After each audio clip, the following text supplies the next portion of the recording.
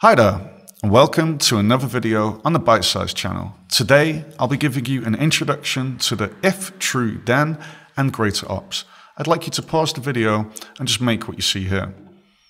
Okay, so let's get started. This is going to be one of the first videos just giving a gentle introduction to Boolean ops and comparison ops.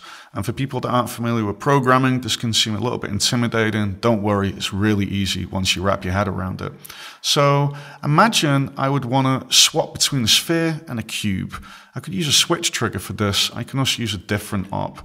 So I'm going to go here and I'm going to grab the if true then op.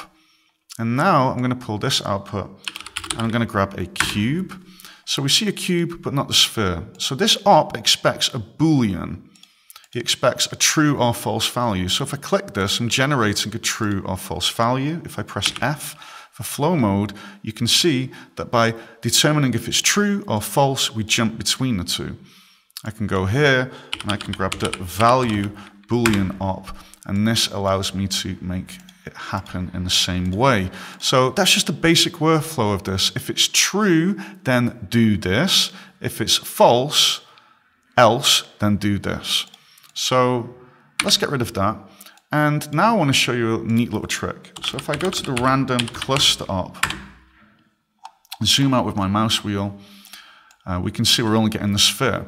So we get a random number here between 0 and 1 for every single instance there and I mean like 0 0.1, 0 0.6. So I'm going to grab this, pull it out, and I'm going to get the greater op. Result is true if number one is greater than number two. So I'm going to grab that. As you can see, we've got a lot of activity because random cluster is rendering a lot. Let's just put it on 20, actually. There we go. We're now going to grab this, and it's going to output a Boolean. So we're going to plug that in there, and we don't see anything happen yet because the number here is on 0. If I put it on 0.5, all of a sudden you can see that we get a mix between cubes and spheres. So I'm just going to try and explain really briefly what's happening here with the flow. So a random cluster is generating a random number between 0 and 1 for each instance. We throw that into the greater op. The result is true if number 1 is greater than number 2. So if it's true, we trigger the sphere. If it's false, we then trigger the cube.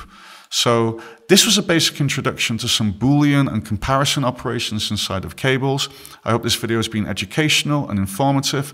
If you have any questions or comments, please feel free to leave them under the video below or to post them on the forums. Thanks for your time.